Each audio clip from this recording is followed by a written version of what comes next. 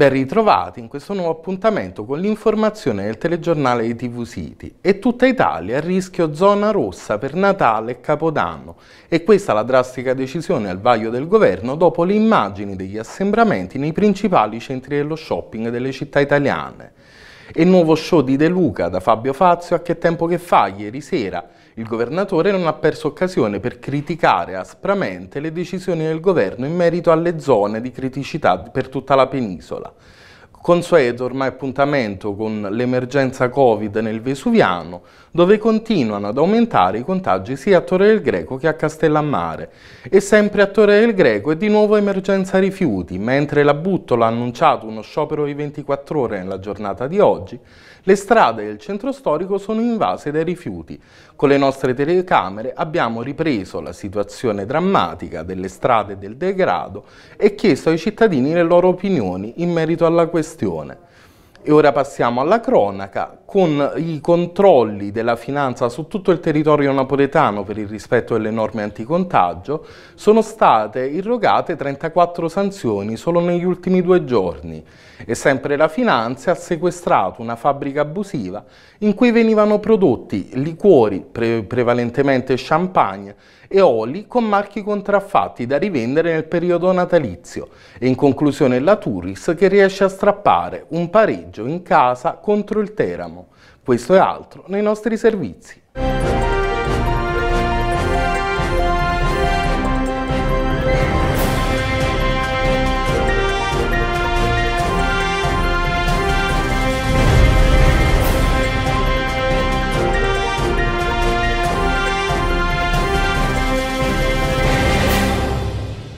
Il governo valuta un irrigidimento delle misure anticontagio nei giorni festivi e prefestivi.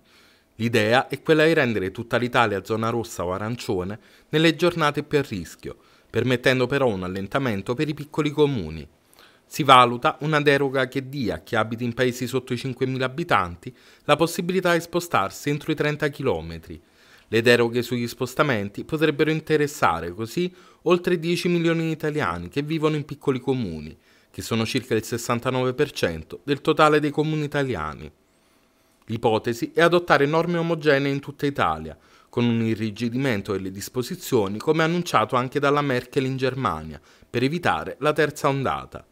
La preoccupazione esplosa dopo le immagini circolate negli ultimi giorni dei vari centri cittadini invasi da persone. Con le riaperture sono tanti i cittadini che ne hanno approfittato per fare shopping, affollando negozi e gallerie, un comportamento che in realtà è stato lo stesso governo a favorire per dare uno slancio all'economia e rianimare il commercio. I preoccupanti assembramenti, misti al rigore manifestato da altri paesi europei, potrebbero quindi portare ad un'improvvisa quanto incoerente inversione di marcia. Sono ormai lunghi mesi che siamo tutti impegnati con grandi e piccoli sacrifici nella battaglia contro il Covid-19, scrive il Premier Giuseppe Conte su Facebook. La nostra comunità nazionale, pur tra mille difficoltà, è riuscita a mostrare un forte spirito di coesione e un grande senso di responsabilità. Sono convinto, continua il Premier, che continueremo a mostrare questa saldezza anche nelle prossime settimane in occasione delle festività natalizie.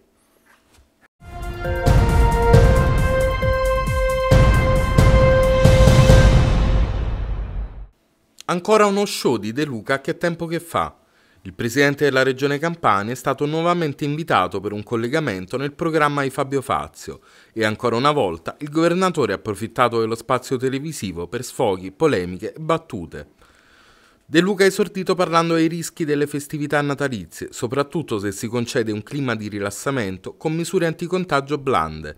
Ma dobbiamo dire con grande chiarezza che se vogliamo godere il calore di Natale quest'anno apriremo le porte delle terapie intensive a metà gennaio e le porte dei cimiteri per altri 10.000 decessi per Covid. Questo è il quadro. Parliamo con grande e brutale chiarezza, altrimenti non ci capiamo.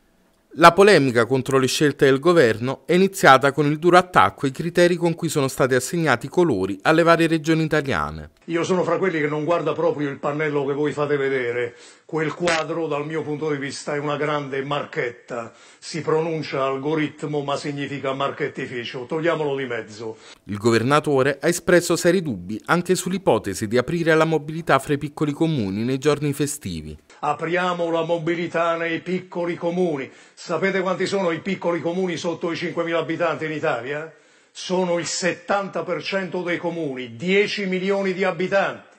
Se apriamo la mobilità a 10 milioni di abitanti, non ci sarà più nulla da fare perché avremo una ripresa drammatica di contagio a gennaio. Questo è il quadro che abbiamo di fronte. Se il governo decide di lasciare la mobilità per i comuni sotto i 5.000 abitanti, a mio parere dobbiamo aprire a Palazzo Chigi una sezione di psichiatria democratica, perché davvero andiamo al disastro. La polemica maggiore è scoppiata sui recovery fund. De Luca ha tuonato furioso contro le indiscrezioni trapelate sulle possibili divisioni dei fondi europei destinati alla ripresa del paese. Il governo non può dire diamo il 34% al sud e il 66% al nord. Le proporzioni devono essere esattamente capovolte. Poi vi sono altri 127 miliardi che riguardano i prestiti e qui ragioniamo. Ma è inimmaginabile che fondi che arrivano per riunificare i paesi, per ridurre il divario di disoccupazione e di reddito vengano utilizzati senza privilegiare le aree svantaggiate per le quali sono state destinate quelle risorse. Non sono mancate poi le classiche battutine volte a denigrare i membri del governo nazionale. Il Presidente del Consiglio ha detto che ai migliori ministri del mondo con un atto, come dire, di fine umorismo. Vabbè, ma che vuole... eh, io credo che abbiamo tre o quattro ministri di grande valore. Il resto, francamente, mi pare arte povera.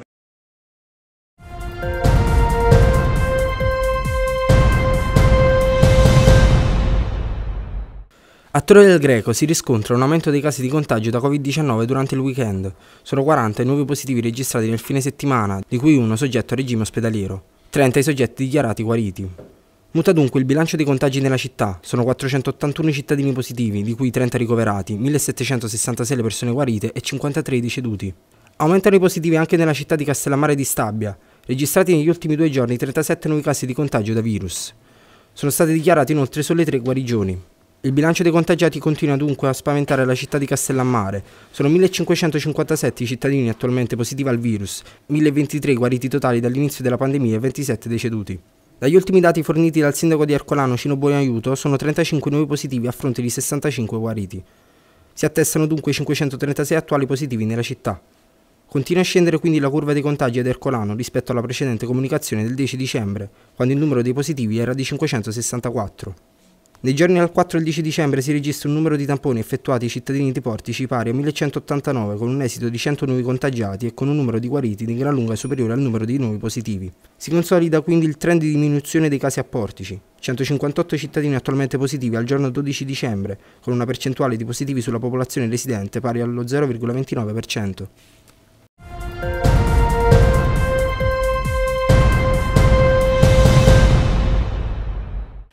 È di nuovo emergenza rifiuti nel centro storico di Torre del Greco. La Butto, l'azienda responsabile della raccolta rifiuti nel comune corallino, ha infatti annunciato per oggi, 14 dicembre, uno sciopero per 24 ore. Una situazione che ha fatto tornare nuovamente i cumuli di spazzatura nelle vie della città. Sacchetti, scatole e addirittura ingombranti si concentrano lungo i punti di raccolta delle strade cittadine. Non è bastato il comunicato emesso dall'azienda nel quale si consigliava ai cittadini di non depositare alcun rifiuto nella serata di domenica. Da sottolineare inoltre che la stessa Butto nella giornata di ieri si è occupata di effettuare un servizio di raccolta straordinario, ma ciò non è bastato per evitare lo scenario di queste ore. Le telecamere di TV City hanno raggiunto il centro storico per documentare la situazione, oltre che a raccogliere le considerazioni dei cittadini al riguardo. Come trova la città eh, quest'oggi? In alcune zone vedo pulito, ma in molte altre, dietro i vicoletti, io noto sempre tanta tanta spazzatura. Può darsi che se lo sciopero non si ferma, eh, significa che saremo inondati dal, dall'immondizia. A che pro metterci le mascherine? Forse proprio per non respirare i miasmi? È solo vergognoso vergognoso. Questo non hanno proprio affetto per la città. Questo, abbiamo un sindaco che dice sempre le stesse cose, l'assessore non si conosce. Scendo proprio dal mio viale a Cesare Battisti, ho visto tanta spazzatura davanti al centro docca giù Cesare Battisti e quindi è una cosa bruttissima. Già stiamo con questo Covid e quindi è un'emergenza proprio veramente. Anche nei giorni ordinari, quindi eh, quando la, la, raccolta dei rifiuti dovrebbe essere regolare, nota qualche eh, particolare di servizio da parte degli operatori ecologici?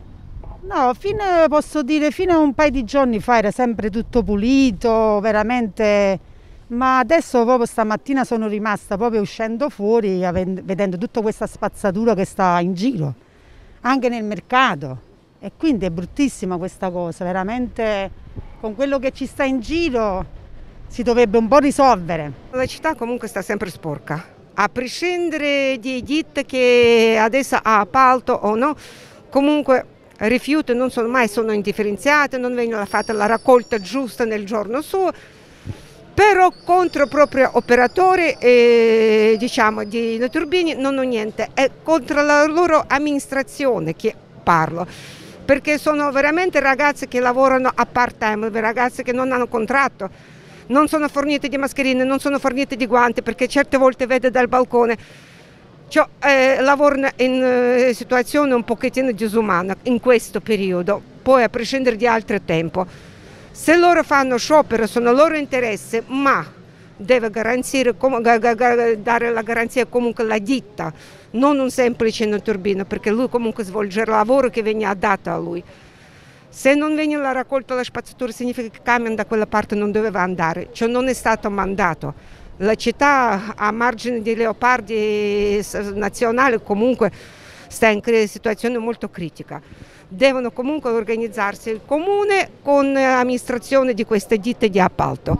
L'ho trovata sporchissima veramente, anche se io sono del comune vicino, però l'ho trovata molto sporca.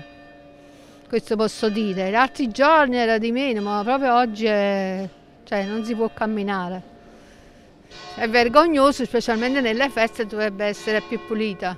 Stamattina come sempre sinceramente la trovo sporca perché comunque io penso un po' pure dalla, da parte dell'amministrazione, un po' da parte del cittadino e siamo in questa situazione appunto di, di degrado. Ci sono delle zone appunto di Torre del Greco dove eh, la situazione è molto più accentuata e dove si vedono rifiuti ammassati proprio, ma non solo rifiuti, carte, via di seguito, ma addirittura materassi, cose del genere, dove eh, non so, eh, siamo in una situazione dove il cittadino eh, è ancora incivile, non ha imparato ancora a rispettare l'ambiente, non ha imparato a rispettare se stesso e gli altri.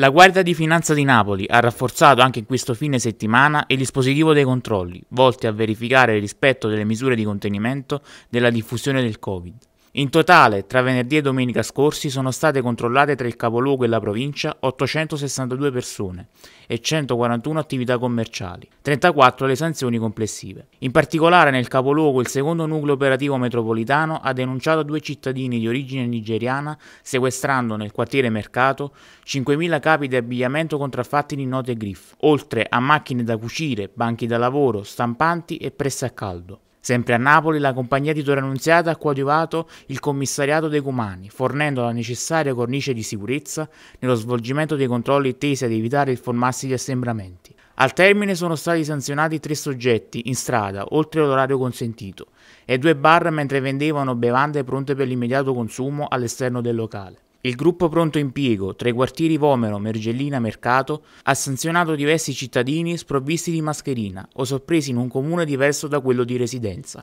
senza comprovate esigenze. Così come la stazione navale di Napoli, che, nelle acque antistanti l'isola Capri, ha sanzionato un cittadino sorpreso in un comune diverso da quello di residenza senza valide motivazioni. Nell'area metropolitana la compagnia di Ottaviano ha sequestrato presso un ingrosso di abbigliamento di San Giuseppe Vesuviano oltre 160.000 tra maschere facciali con marchi contraffatti di note griff e prive dei requisiti minimi di sicurezza. La compagnia di Castellammare di Stabia, a seguito di una segnalazione, ha constatato un assembramento di avventori all'interno di un internet point, intimandone la chiusura provvisoria per 5 giorni. La tenenza di Massa Lubrense ha sanzionato due giovani sorpresi in strada oltre l'orario consentito.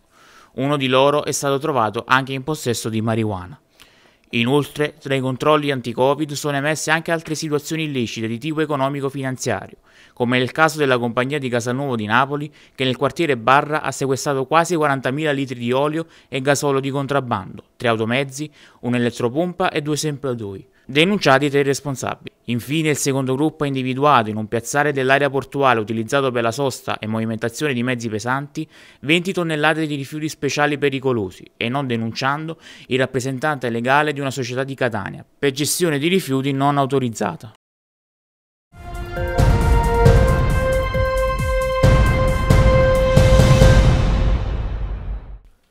Il comando provinciale della Guardia di Finanza di Napoli ha sequestrato a San Giuseppe Vesuviano una fabbrica clandestina utilizzata per il confezionamento di bevande. Individuati quasi 1400 litri tra champagne, olio ed alcol etilico, privi delle indicazioni obbligatorie in materia di tracciabilità alimentare e contraffatti. In particolare gli specialisti hanno scoperto un opificio perfettamente allestito per l'etichettatura di bottiglie contenenti falso champagne a marchio Moet Chandon nel seminterrato di un edificio residenziale sequestrate 774 bottiglie di champagne, 804 di olio sapio e di alcol etilico delle distillerie La Sorgente e Fiume, nonché 129.400 accessori per il confezionamento fra tappi, etichette, contenitori in cartone, capsule copritappo in alluminio con loghi e falsi marchi Moet Chandon, olio sapio, olio San Colombano e Made in Italy sequestrati anche 1100 contrassegni di Stato per bevande alcoliche con il logo contraffatto della Repubblica Italiana e denunciati i titolari una 55enne e un 48enne originari di Sarno per contraffazione e ricettazione. Se messi sul mercato i prodotti avrebbero consentito un guadagno di oltre 120.000 euro.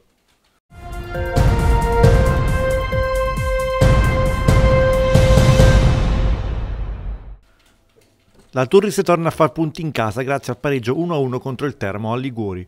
La squadra di mister Fabiano si presenta in campo con Signorelli e Longo dall'inizio, ma sono gli ospiti a creare le migliori occasioni del primo tempo. Già nei minuti iniziali, prima Ferreira che da fuori costringe a Bagnale a deviare in angolo, poi Bobbaci su punizione sfiora la traversa. Gli abruzzesi lasciano pochi spazi l'unica occasione per i padroni di casa viene sprecata malamente da Pandolfi. La svolta arriva al ventesimo quando Santoro entra in aria, supera la difesa e insacca con un diagonale che non lascia scampo al portiere corallino. Dopo l'intervallo la Turis appare più propositiva e trova il gol con Longo, ma l'attaccante era in fuorigioco. Il pareggio però arriva a metà ripresa, lancio lungo di Signorelli, sponda di Pandolfi che trova Giannone, che a tu per tu con Lewandowski non sbaglia. I teramani a questo punto si riversano in attacco, ma Bagnale è super sul tiro velenoso di Mungo. Finisce in parità e per la Turis è un ottimo punto guadagnato in ottica salvezza. I corallini ora mantengono 9 punti di vantaggio sulla zona playout, prima della difficile trasferta sul campo della lanciatissima Ternana.